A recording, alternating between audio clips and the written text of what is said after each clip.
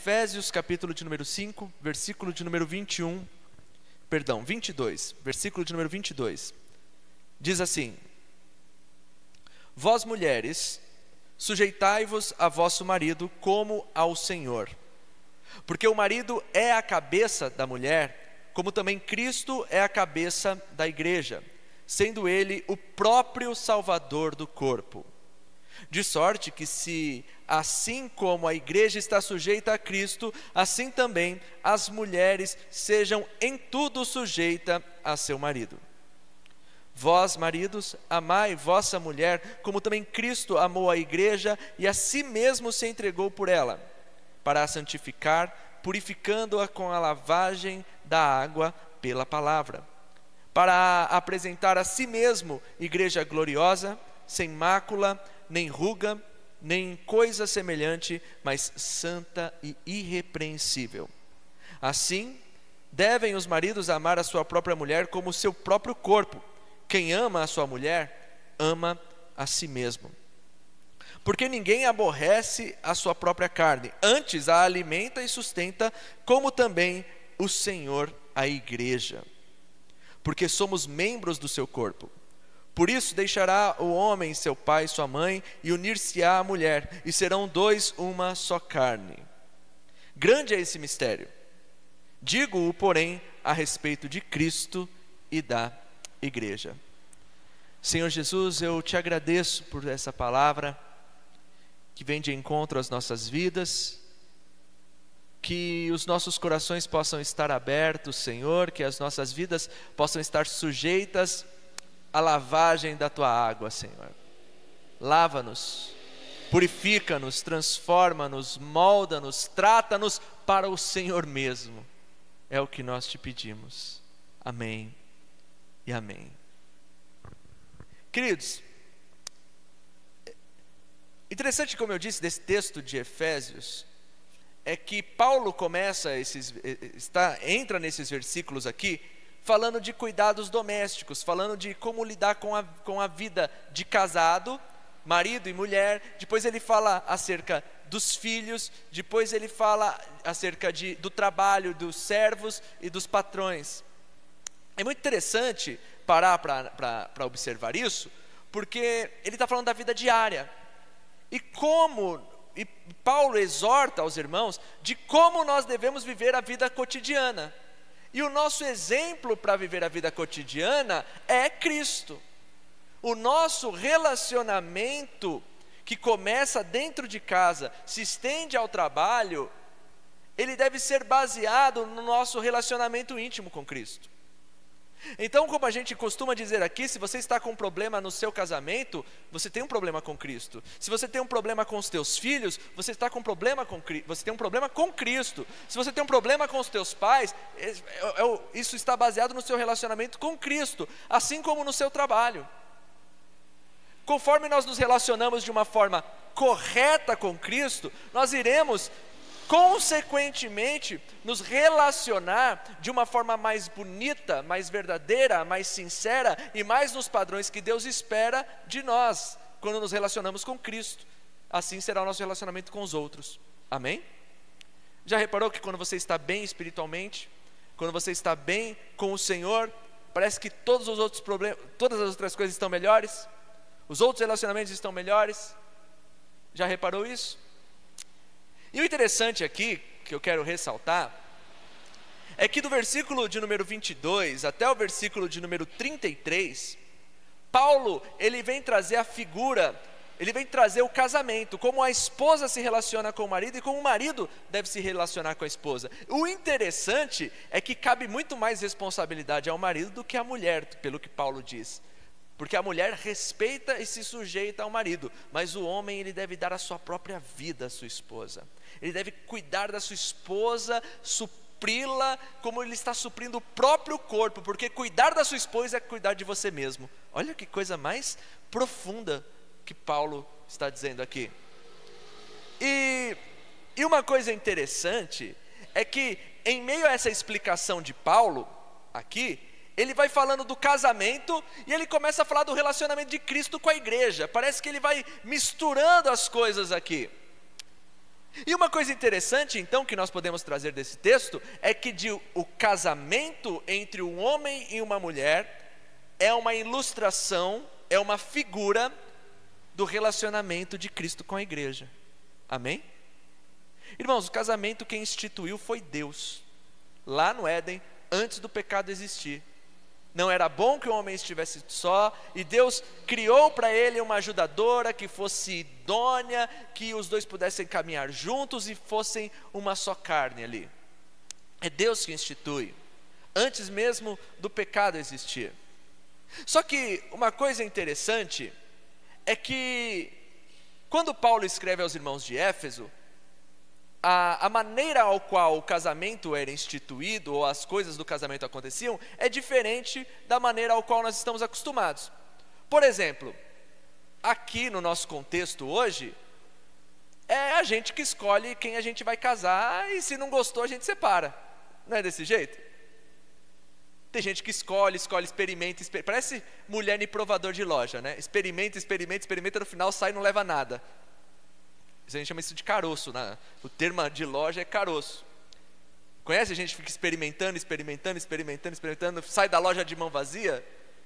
Isso não é de Deus não, viu irmão? Não queria dizer nada não. Esse negócio aí de ficar experimentando, tanto os rapazes quanto as moças, esse negócio de ficar experimentando, experimentando, experimentando. Eu só estou vendo o olhinho da, da Esther fazendo assim, ó. Vigia na terra, viu irmão? Estamos de preto hoje, hein, Estherzinha? Chiques, né? Louvado seja o Senhor. É, e aí, uma coisa que, que acontece, você escolhe. Gente, tecnicamente, dentro do, do, contexto cultural que nós vivemos, que eu e você vive, nós, você que está em casa e nós que estamos aqui vivemos, ninguém, tecnicamente hoje, dentro dessa nossa estrutura que nós estamos acostumados, você escolhe com quem você vai casar. Ninguém aqui casa obrigado, e se for casar obrigado, é praticamente um crime. Você foi obrigado a casar com Felipe, Roberta? Se foi, não se manifesta. Mas escolhe. A gente escolhe, a gente vai lá, como eu disse, prova, prova, prova, prova, prova, prova. Vai, vai, vamos, vai esse aqui mesmo. Já provei, vou, vou vestir esse aqui. E só que no contexto que Paulo escreve, há dois mil anos atrás, a gente tem que entender um pouco como funcionava o casamento. Porque é diferente dessa forma de casamento que a gente está acostumado. Porque hoje você vai lá, olha o processo, eu não estou falando processo cristão, estou falando processo do mundo. Vê, fica, aí fica, assume namoro, aí namora, namora, namora, namora, namora, aí depois toma um outro passo que é quase viver como casado, para ver se vai casar, e se não casar, junta os panos de bunda, não é desse jeito? É desse jeito. E quando vai casar, aí o que que faz? Aí vai lá, e aí começa a pensar na festa, e na festa, e na festa, e na festa, acaba nem cuidando mais um do outro, e está esquecendo de, de se preparar um para o outro. Eu ministro casais há muito tempo, e sempre que a gente vai ministrar que eu vou ministrar casais, eu falo assim: ó, vamos esquecer da festa e vamos olhar um para o outro, porque a vida vai ser vocês dois. Isso é uma coisa que acontece. E aí, o contexto todo dessa questão de casamento, no aspecto que, que o Paulo está falando aqui, nós devemos entender como, de que jeito, como era o casamento no contexto que Paulo está falando. Deu ruim aí, Gui? Ficou sem bateria? Não é ali que está fora da tomada? Pode ser ali. Vamos ver aqui. Problemas técnicos. Saímos do ar? Só o vídeo? Só está sem vídeo. Só áudio. Então os irmãos que estão em casa nesse momento estão só ouvindo e não estão vendo a minha beleza. Estão perdendo seus bobos. Né? Não é, irmãos? Faz. Hum. Glória a Deus. Mas enfim, é importante a mensagem, abra os ouvidos para a mensagem. E entenda uma coisa: como que funcionava o casamento nesse contexto que Paulo está falando?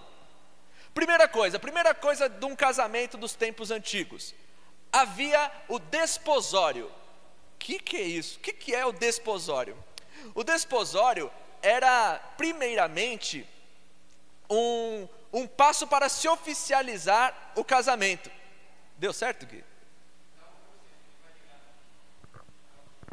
Tá, mas está carregando. Tá bom. Quem está ouvindo que ouça o que o Senhor diz à igreja do Veloso. Quem tem ouvidos que ouça. Aumente os volumes, porque o negócio vai ser forte. Amém. Como que funcionava? Primeiramente, o que, que acontecia? Havia o desposório, um acordo, um, um certo tipo de compromisso assumido entre o casal. Mas, muitas das vezes, não era nem feito entre o, entre o rapaz e a moça, era feito entre a, uma família e outra família. Já viu esses casos de novela? Era aquela coisa: uma família fazia um acordo com a outra, um homem fazia um acordo com o pai da moça, e assim que funcionava o casamento. Não era aquela coisa de, ah, meu, vi na igreja, ah, aquela mina tem cara de ser varó de Deus, tô, vai, vou chegar, vou conversar com a mãe dela. Não, não era escolha, geralmente era um acordo, chamava desposório. E como funcionava esse desposório? A partir do momento que a família firmava um acordo, a partir do momento que era feito esse, esse, esse acordo verbal, aquele casamento já estava se iniciando ali. O compromisso de dizer: olha, a, a Estherzinha vai se casar com o Zidem, estou só supondo, Su, verbalmente. É não tinha outro bode expiatório aqui, Zidem, sobrou só você. O resto está tudo comprometido aqui, ó. E o Gui lá atrás, né? Oh, Alguém ficou até frustrado, falando, eu, tô, eu existo. O Gui estava chorando ali fora, falou assim, eu queria tanto alguém para dividir o videogame, mas eu só tenho um controle. Falei, cara, situação deprimente, mano. Né? Mas enfim, tá disputado, Estherzinha. Mas enfim, vamos, vamos voltar. É que eu não queria usar o exemplo da minha filha, né? Não vou sortear minha filha no meio dos lobos, né? É, mas enfim, irmãos, é, havia um acordo. E a partir do momento que esse acordo estava firmado, aquilo era sério. Não era que nem hoje, que ah, hoje, enquanto parece que enquanto não casa, ninguém é de ninguém. Não tem um negócio desse? Não, só, tô ficando com fulano, mas aí não é compromisso. Não acontece esses negócios? Não, só estou pedindo exemplo do mundo. Né? Não estou falando que você é do mundo. Misericórdia, ferrei. Né? Mas esquece, finge que eu não falei isso. Mas os jovens, as pessoas são mais ou menos assim. Ah, até as músicas, vamos ouvir as, as músicas, vamos ouvir não, mas os, hoje eu estou ferrando todo mundo. Mas os sertanejos aí, principalmente os sertanejos, essa, ninguém é de ninguém, né? né? É amante, é isso, e o compromisso parece que é só no casamento. Mas não, o desposório era algo muito sério, que a partir do momento que o acordo estava firmado, deveria se ter uma fidelidade. Tanto é que a gente vai ver no Evangelho de Mateus, capítulo de número 1, versículo 18, que quando é, Maria ela estava desposada. Ora, o nascimento de Jesus foi assim: estando Maria, sua mãe, desposada com José. Quer dizer, Maria tinha um compromisso com José. Ela já estava casada com José? Não, mas ela já estava noiva de José. Já havia um compromisso firmado ali com José. Por isso que quando Maria aparece grávida, o que que acontece? Quando Maria aparece grávida, José, ele quer se afastar, ele quer ir embora daquele lugar para que, que Maria não fosse hostilizada ou até mesmo apedrejada. Por quê? Porque uma mulher que estava desposada, noiva de alguém, se ela, se ela traísse essa pessoa, era considerado um adultério, tipo do casamento, ao ponto dela poder ser apedrejada. Já pensou se fosse assim nos tempos de hoje? Que coisa! Por isso José ele tenta se afastar, sem manchar a honra de Maria, porque ele fala: Poxa, eu estou noivo de Maria, eu não comi a fruta. E alguém mordeu a fruta, que negócio é esse? Eu tenho certeza que não fui eu, mas eu vou me afastar e não vou deixar ela, para que ela não, se, não sofra as consequências de uma traição. Só que o, anjo, o Senhor aparece para José em um, em um, sonho e fala: Não, esse filho é de Deus, esse filho é do Espírito Santo, é o próprio filho de Deus. Então vai, vai na fé, José, porque você está sendo um, um escolhido de Deus para fazer um propósito maravilhoso. E aí, Então havia o desposório, que era como se fosse o noivado. Depois do desposório, havia uma troca de presentes entre a família da noiva. É, eram dados presentes à noiva e à família dela. Quando a gente vai ver lá em Gênesis a história do, do Isaac e da, e da Raquel, a gente vai ver o que? É, o Isaac, é, Isaac não, Abraão mandando presentes para a casa deles. Por quê? Para agradar. Era o dote. Então, a partir do momento que o casamento era acordado, que estava tudo certinho, a família do noivo, o noivo, dava-se presentes para a família da noiva, como se tivesse compensando o pai de perder uma filha, porque ela iria morar com o noivo. Já pensou agora? Que coisa, hein? Você pagou o dote, Felipe? Não pagou. Já pensou o dote? Sabe? Quanto? É, então havia essa, esse pagamento de preço. Legal. Outra coisa que acontecia no casamento daquele momento, a partir do momento que o acordo estava firmado, que havia pagado dote, havia um tempo de espera. Geralmente esse tempo de espera era um momento em que o noivo iria preparar o lugar, a casa para levar a noiva, e a noiva iria se preparar para o noivo. Era um processo. Era um, era um processo do quê? Muitas vezes de purificação da noiva. E dentro desse processo de purificação da noiva para o noivo, ela fazia uns banhos que na tradição judaica se chama banho de mikvé, que é um banho em, uma, em um tanque de água, de, eles chamam de água viva, porque é uma água ou de chuva ou de um rio, aonde a, ela, se, ela mergulha para que ela possa estar purificada, se purificando. E as mulheres judias, até hoje, elas praticam o banho de mikvé nas sinagogas que elas congregam, que elas, que elas fazem parte, mensalmente, porque todos os meses após a menstruação, as mulheres judias elas têm que fazer o banho de mikvé. Pode fazer uma pesquisa, é muito interessante isso, que é um banho de purificação para quem? Para o, marido. Então, a, as mulheres, elas entravam nesse processo de preparação para o noivo, tomavam esse banho de imersão de mikvé, e para quê? Para poder se preparar para o noivo. E aí então acontecia o grande dia, que o noivo vinha, chegava na casa da noiva, levava ela para a casa dele, e na casa dele se comemorava uma festa de cerca de sete dias, onde o casamento era consumado e os dois eram feitos uma só carne. Né? Então era assim o contexto de um casamento naquele momento.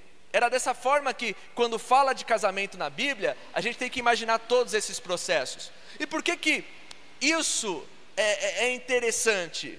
Por que, que isso é, é importante eu falar sobre isso?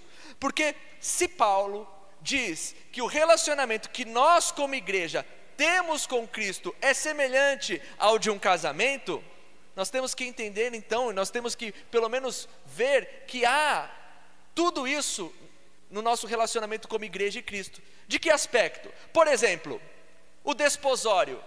Concorda comigo que a Bíblia diz que antes da fundação do tempo o Senhor nos escolheu, escolheu nos amar, escolheu nos salvar, escolheu se dar por nós.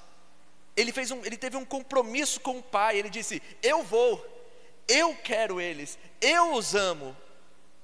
Outra coisa, presentes que são dados para compensar o pai da perca da filha, não que Jesus compense a, a, o inferno para nos tirar da morte, mas nós fomos resgatados com preço de sangue.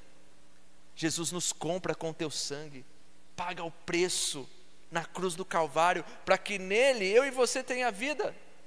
Nós somos comparados à noiva de Cristo, a noiva do Cordeiro, que aguarda a vinda do seu Senhor, que foi preparar lugar para nós, para que nós com Ele possamos viver eternamente. Cristo está conosco, nos mantém através do Teu Espírito Santo mas viver com o Cordeiro será quando Ele vier nos buscar para nos levar para a glória, para a morada que Ele preparou para nós.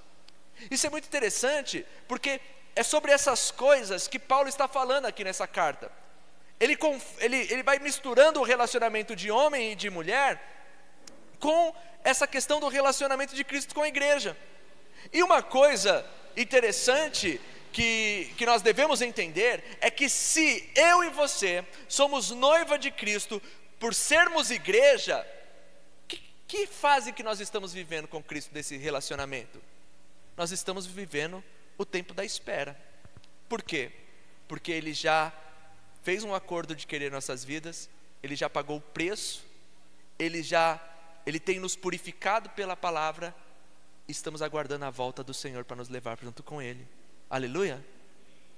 Uma coisa interessante que Paulo diz aqui é que tudo provém de Cristo. No, no versículo de número 23, diz que porque o marido é o cabeça da mulher, assim como também o Cristo é o cabeça da igreja, sendo ele o próprio salvador do corpo. Ele está dizendo o quê? Que nós, como igreja, somos salvos por Cristo. É Ele que nos conduz, Ele que nos orienta, é Ele que é, é, é abaixo dele que nós devemos estar. Submissos quem? A Ele. Quantas vezes dentro de uma comunidade Homens e mulheres se sujeitam à voz de homens e não à voz do Senhor. E se ferem, se machucam, se frustram. Se um dia você se frustrou dentro da igreja, dentro de uma suposta igreja, se você se frustrou por causa da fé, eu tenho certeza que foi porque você não se sujeitou a Cristo, mas quis se sujeitar a homens. É isso que acontece. Porque o que o texto diz aqui para nós é que o Senhor, Ele se deu por nós, Ele se deu por amor de nós para nos salvar. Então, se Ele quer me salvar, Ele não quer me machucar, Ele não quer me ferir, Ele não quer me magoar, porque eu sou valioso para Ele. Aleluia. Uma coisa que Paulo diz aqui para nós é que, a, que, que as mulheres devem ser sujeitas ao marido, como a igreja é sujeita a Cristo. Nós devemos nos debruçar diante de Cristo, ouvir o que Ele tem para nos orientar como igreja, nos submetermos a Ele e não aos nossos querer, mas ao querer do Senhor. Uma coisa interessante que eu vejo aqui nesse texto, do versículo 25 em diante, é que Jesus Cristo quer assumir uma responsabilidade com a igreja. Ele assume uma responsabilidade com a igreja. Olha só que interessante. Nós vemos aqui que olha isso, versículo 25: Vós maridos amai as vossas mulheres como também Cristo amou a igreja e a si mesmo se entregou por ela. Primeira coisa que Cristo fez, ele nos amou. Segunda coisa que ele fez, ele se deu por amor a mim e você. Olha que coisa mais maravilhosa. Ele nos amou e ele se entregou por nós, pela igreja. Uma coisa, aqui entra uma coisa bem interessante. Versículo de número 26 diz assim: Para a santificar, purificando-a com a lavagem da água pela palavra. Às vezes eu lia esse texto e não entendia nada do que Paulo está falando aqui amou a igreja para santificar, purificando com a lavagem da água pela palavra. Falava, o que, que, que, que lavagem da água tem a ver com casamento, com, com, com todas essas coisas? Mas quando nós vamos estudar a Bíblia e quando nós vamos entender o contexto histórico ao qual o texto foi escrito, a lavagem da água é o mikvé. Lembra que eu falei que a noiva esperava o noivo, e enquanto esperava o noivo, ou mensalmente a mulher se lavava num banho de imersão para se purificar para o noivo? Jesus está, Paulo está dizendo que a palavra de Deus, a Bíblia, o Evangelho, é uma água que nos purifica, nos lava, nos santifica para o nosso noivo Jesus Cristo de Nazaré. Olha que coisa mais bonita! Entender isso nos deve levar a pensar que quando desprezamos a palavra, que quando desprezamos o Evangelho, que quando desprezamos aquilo que o Senhor fala, tecnicamente estamos desprezando a purificação que o Senhor tem para as nossas vidas. Você está entendendo o que eu estou falando? Você já reparou que quanto mais longe da palavra você está, mais sujeito as coisas imundas você fica?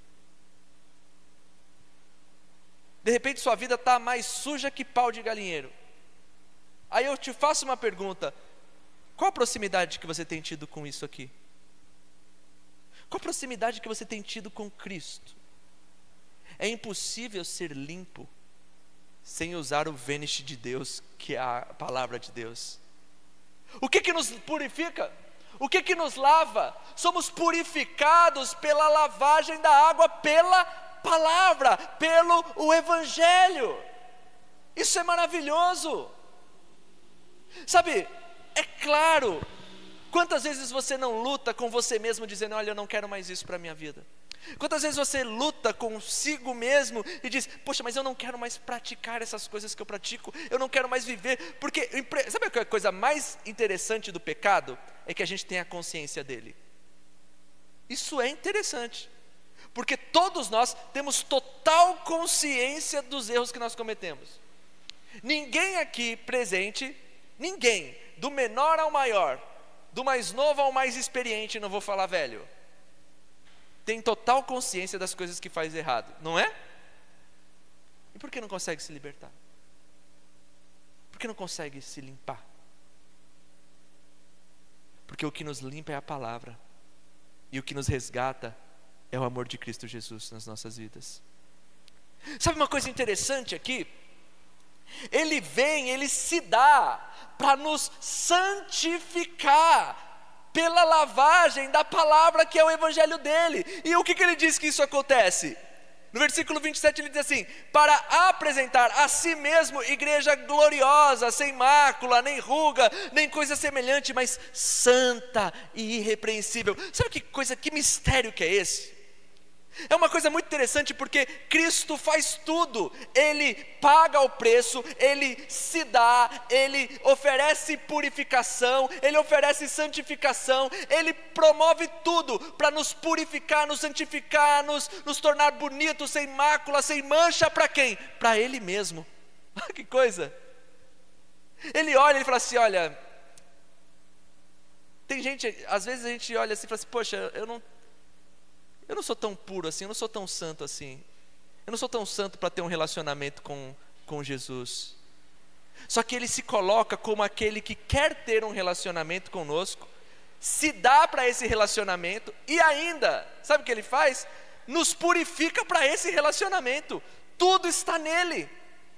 O querer, o, as ações para que nós possamos ter esse relacionamento está em Cristo. Isso é muito bonito. Sabe, meus irmãos, Jesus cuida de nós, Ele quer, e eu vou dizer alguma coisa, um mistério aqui para os maridos, e temos bastante maridos aqui presente, e eu acredito que de repente, ouvindo essa transmissão também tenhamos. Olha o que Paulo revela para nós: que quando cuidamos das nossas esposas, os beneficiados somos nós mesmos. Olha que lindo isso aqui. Quem, olha o que Paulo está ensinando para os maridos. Quando você cuida da sua esposa, quando você se dá à sua esposa, quando você se entrega e, e, e vive uma vida plena para a tua esposa, você está cuidando dela. E eu falo a verdade, olha só, o que tem mulher com ruga no rosto, magoada, ferida, angustiada, porque o marido é um zero esquerdo e não faz nada na vida que sofre por causa do casamento que tem, da vida que tem. E que tem de homem que reclama do seu casamento, eu quero dizer uma coisa para você: para de reclamar do seu casamento, se doe a sua esposa, edifica a vida dela, cuida dela, porque o grande beneficiado vai ser você. Porque uma esposa cuidada ama o seu marido. Aleluia. É uma grande responsabilidade para os homens isso. É uma grande responsabilidade para nós. Olha que coisa mais bonita. Você e eu, homem, fomos colocados como uma figura de um Cristo no casamento. Olha que coisa mais maravilhosa. Aí eu digo: que tipo de casamento você tem tido? Que tipo de casamento é o exemplo para você, para os seus filhos? Porque isso está tudo destruído. Sabe, esses casam, o, o casamento hoje ele está deturpado. A figura do casamento hoje está destruída. Tem um monte de gente, isso eu falo, eu falo sem medo de errar, que não quer pensar em casar, porque para na cabeça hoje, casamento é uma instituição falida. E nós, como cristãos, que tipo de exemplo nós estamos dando para as futuras gerações, para os nossos filhos? Um casamento, casamentos que faltam amor, casamentos que faltam respeito, casamentos que faltam submissão, homens que não são a figura do Cristo dentro do seu casamento para com a sua esposa, deturpam a visão dos teus filhos ao ponto deles não quererem nem saberem casar. Olha que responsabilidade.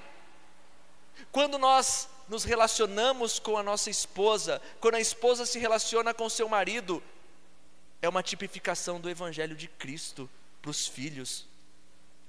Aí você imagina porque os seus filhos não vão para a igreja, porque você não tem conquistado muitas vezes os teus filhos para o caminho do Senhor. Analise o seu casamento, analise sua vida a dois. Será que o seu casamento tem manifestado o prazer de que é estar com Cristo? Sabe por quê? Porque é o que Paulo tem dito aqui para a gente. Paulo ele está dizendo que o casamento é um reflexo do relacionamento de Cristo com a igreja. E se nós, e se muitos de nós não acreditamos mais no, relacion, no casamento, isso reflete também a vida que nós temos com Cristo. Porque o que tem de crente que não acredita mais em casamento não está no gibi, como diziam a expressão antiga. Eu vejo crente orientando seus filhos, assim, não, filho, só, só pega mesmo, só pega, vai. Compromisso, não, fecha, passa o rodo. Crente não passa o rodo, arruma, edifica a casa. Edifica. Quem passa o rodo é o mundo. Sabe? Sabe uma coisa muito interessante que tem aqui nesse texto? No vers... A gente seguir no texto, versículo de número 32, vai dizer assim: Grande é esse mistério. Digo, porém, a respeito de Cristo e a igreja. Às vezes eu lia esse versículo e eu ficava pensando: que mistério é esse que o Senhor está guardando? Que mistério é esse? Pela, que, que, que, há, que, que há guardado aqui que eu não sei? Mas na verdade era um erro de interpretação, que eu não sabia ler direito a Bíblia. Porque o que, o que Paulo está dizendo aqui, ele traz a exposição de, da figura do casamento de Cristo com a igreja sendo um casamento de um homem com uma mulher. Então, Jesus, o que Paulo está dizendo aí é o seguinte: Paulo está dizendo assim: olha, grande é o mistério, que mistério? Que não era revelado, mas agora é revelado em Cristo. Você, a igreja, é a noiva de Cristo. É isso que ele está dizendo. Não é um mistério que ninguém sabe, não é um mistério que está escondido, mas ele está falando assim: maravilhoso é poder saber que em Cristo você é amado. Maravilhoso é poder saber que Cristo ama a igreja, que há um povo que Cristo se deu, amou, se entregou para que ele pudesse ter vida, santificação e pudesse viver com ele. Aleluia! Esse é o um mistério. Essa é a grande coisa. Só que, do jeito que nós vivemos hoje, o casamento é uma instituição falida. O casamento hoje não tem compromisso, não tem verdade. Muitas vezes o casamento é um casamento sem entrega. A gente querer comparar esse casamento aqui, que Cristo fala, que Paulo fala para nós, com os casamentos de hoje, é uma ilusão. Muitos aqui, talvez aqui alguns jovens, não passa nem pela cabeça em querer casar. Né, Vaz? Por quê? Casar para ser igual essas pessoas infelizes? Porque parece que o casamento só acarreta problemas, tristezas, angústias. Parece que o casamento é uma prisão. Só que não tem como você querer catar um casamento humano com duas, de duas pessoas pecadoras. Como eu disse, o casamento foi instituído no Éden por Deus, antes do pecado. Aí entra o pecado e faz a, e faz a bagunça em tudo.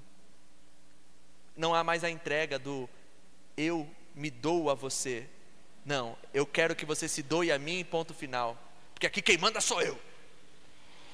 As coisas é do meu jeito. Eu não me dou. E dentro dessa visão deturpada do casamento, isso reflete também a situação que a igreja se encontra hoje. Uma igreja falida, que não tem relacionamento sincero com Cristo. Uma igreja que não aguarda mais o noivo. Uma igreja que não anseia, que não se purifica para o noivo. Sabe que, que tipo de relacionamento que, que a igreja tem tido com Cristo? A igreja atual tem tido com Cristo? É um relacionamento assim, ó, eu estou desposado, estou esperando, estou me pur... Mas é o seguinte, eu só vou encontrar com meu noivo de domingo, porque o resto da semana não sou de ninguém, eu sou de todo mundo e todo mundo é meu também. Uma igreja sem compromisso. Uma igreja que só vai encontrar com o noivo do domingo, dar umas bitocas na janela e voltar a viver a vida que vive seis dias da semana. Isso é compromisso? Que não acredita, que não se entrega, por sermos feridos, por olharmos os relacionamentos do mundo e basearmos o relacionamento da igreja com Cristo nos relacionamentos humanos, muitos de nós não têm mais coragem de se entregar. Por causa que já foi machucado, por causa que já foi ferido. Sabe, eu quero dizer para você que os relacionamentos humanos foram destruídos por causa do pecado. E jamais serão como deveriam ser. Os casamentos hoje têm adultério, violência, rancor, falta de amor. São marcados e essas marcas colocam o casamento em é, descrédito para muitos. Sabe? Mas o Senhor revela através da palavra dele que não devemos basear os nossos, a nossa entrega nos relacionamentos simplesmente do homem e mulher, mas no relacionamento de Cristo com a sua igreja, porque Ele é o noivo perfeito, Ele não tem mácula, Ele é santo, Ele é puro. Você pode ter sido magoado, frustrado, oprimido, você pode não ter tido um exemplo nenhum na sua casa ou ao seu redor de um casamento que te mostrasse algo bom ou te evangelizasse. Mas olha para o casamento de Cristo com a igreja, olha para o noivo dos noivos Olha para o Cordeiro Santo que se dá pela sua noiva, porque aqui o que Paulo está dizendo não é olhe para os casamentos para se basear, olhe para os casamentos do mundo para se basear no relacionamento com Cristo. Não, ele diz: tenha um relacionamento com Cristo e todos os seus outros relacionamentos serão melhores, porque primeiro você se relaciona com o noivo santo, puro, que se deu por amor a você. Que proveu tudo, Ele proveu a santificação, Ele proveu a salvação, Ele proveu o amor, Ele deixa a palavra para nos lavar, Ele se dá. Todos esses relacionamentos do mundo nunca suprirão o espaço do relacionamento que você deve ter com o Santo Deus. O relacionamento perfeito começa com Cristo um relacionamento duradouro começa com Cristo. Sabe, os relacionamentos que você viu até agora talvez te marcaram negativamente. Talvez você já passou por um, dois, três relacionamentos, tentou de várias formas, mas não conseguiu. Talvez você não pensa nem em compromisso na sua vida. Ou talvez você só quer a satisfação própria dos seus desejos carnais. Mas eu quero dizer uma coisa para você. Cristo te amou primeiro. Ele comprou, te comprou com preço de sangue. Ele te ama. Ele te deixa a palavra do Evangelho para purificação, para te deixar puro, sem mácula, santo, irrepreensível, para que você possa viver para Ele. Sabe por quê? Porque nós vivemos, a igreja deve viver anseio da volta do seu Senhor. Ela deve esperar como a noiva esperava a vinda do noivo. Ela deve esperar o Senhor vir, mas sabe por quê? Que a igreja não anseia mais a volta de Cristo? Porque não tem compromisso com o noivo. Porque acredita que o noivo vai machucá-la, vai feri-la ou qualquer coisa semelhante. Mas eu quero dizer para você, lá em Apocalipse capítulo 22, o último livro da Bíblia, Na última página dos textos bíblicos, Apocalipse 22, versículo 17, há uma revelação linda que João escreve e diz assim: E o Espírito e a esposa dizem: Vem. Há uma igreja que clama, há uma noiva do cordeiro, mesmo que pareça que não, mas há uma noiva que encontrou um relacionamento perfeito, que encontrou satisfação, que encontrou santificação, que, que pôde se entregar ao noivo. E quem ouve, quem ouve é, o Evangelho, quem ouve essa palavra, diga: Vem. Vem quem? Vem, meu noivo. Vem, Senhor. Eu anseio a sua volta. Não vejo a hora de morar na casa que você preparou para mim.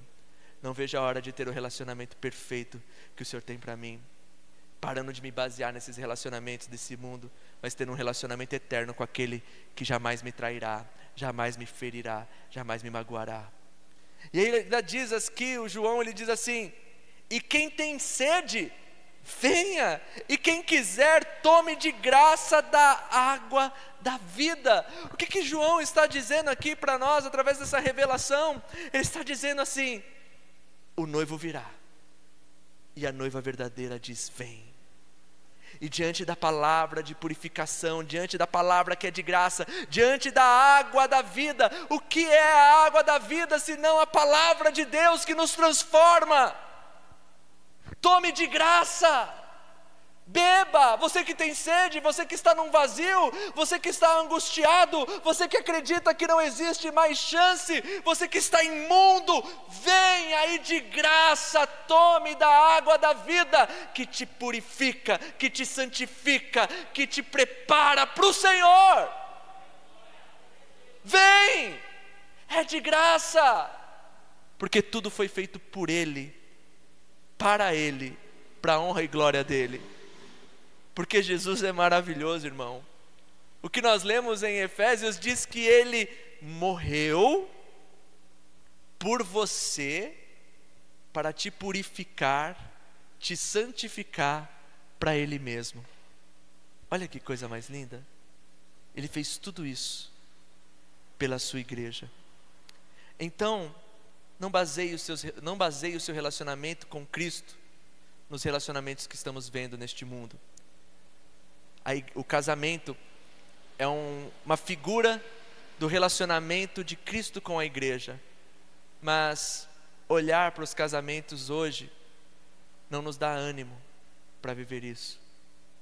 Talvez o seu casamento esteja abalado, talvez as suas estruturas estejam abaladas, talvez o seu relacionamento com os teus pais estejam abalados, magoados, talvez você não consiga nem saber quem são os seus pais. Mas eu quero dizer uma coisa para você tenha um relacionamento com aquele que te amou e se entregou por você. Se purifique com a lavagem da água pela palavra.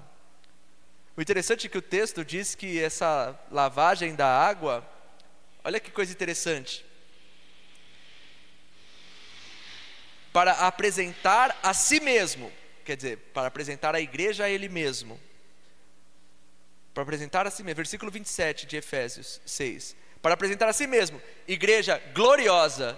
Olha que coisa, Cristo te purifica para que você seja gloriosa. Olha que coisa mais linda. Sem mácula, quer dizer, sem mancha nenhuma.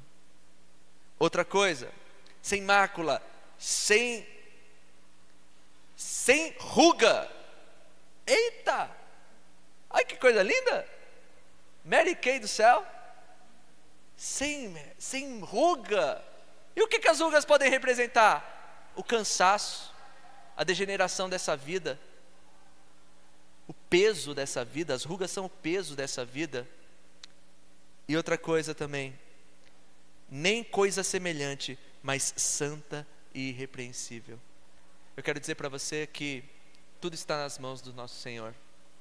Ele se dá por você, para que nele você tenha uma vida plena que nele você tenha uma vida abundante, para que nele você seja glorioso, sem mancha, sem mácula. Sozinhos não somos igreja, sozinhos somos necessitados do Senhor e, e filhos de Deus, mas quando nos reunimos, nos reunimos para o propósito de adorar aquele que morreu por amor de nós, Cristo Jesus. Talvez você não tenha conseguido, não esteja conseguindo viver uma vida plena com o Senhor, uma vida de santificação. Talvez você tenha vivido uma vida, esteja vivendo uma vida sem compromisso. Eu quero te dizer que Cristo não morreu por isso. Cristo morreu para que você tenha um relacionamento puro, verdadeiro, íntimo e sincero com Ele. E Ele proveu tudo para que esse relacionamento aconteça. Sabe, você pode ter sofrido e, e, pode ter sido marcado por muitos relacionamentos nesse mundo negativos, ou tido exemplos péssimos. Mas eu quero te convidar a se entregar a Cristo Jesus, porque Ele não é homem para te frustrar, Ele não é mulher para te magoar, Ele é o próprio Deus que morreu e se entregou para que nele você possa viver. Entregue-se a Ele, tenha um relacionamento verdadeiro com Ele, porque a partir do momento que você se relacionar de uma forma correta com Cristo, aí você terá base para se relacionar com qualquer outro tipo de relacionamento. Seu relacionamento profissional, familiar, seu relacionamento social, se baseia na forma com que você se relaciona com Ele. Se eu me relaciono bem com Cristo, me relacionarei bem comigo mesmo e com os outros. Por quê? Porque Ele me transforma. Aleluia? Ele me ama, Ele te ama. Eu quero te convidar a curvar sua cabeça. Vamos orar. Senhor Jesus, eu te agradeço por tua palavra. Palavra que purifica, palavra que santifica, palavra que vivifica, palavra que tira as nossas rugas. O teu amor é maravilhoso, Senhor. O Senhor é bom, o Senhor é longânimo, e tudo está em tuas mãos nós nos entregamos a Ti, Senhor Jesus, para que a Tua vontade seja feita e não a nossa, para que o Teu querer seja feito e não o nosso. Senhor, que a minha relação contigo possa se refletir nas relação, outras relações que eu tenho na minha vida. Eu abro meu coração com sinceridade ao Senhor, na certeza de que eu não sairei machucado, de que eu não sairei magoado. Perdoa as minhas falhas, perdoa as minhas fraquezas, perdoa as minhas limitações, mas me conduza no teu amor. É o que eu te peço. Em nome do Senhor Jesus. Amém e amém. Amém?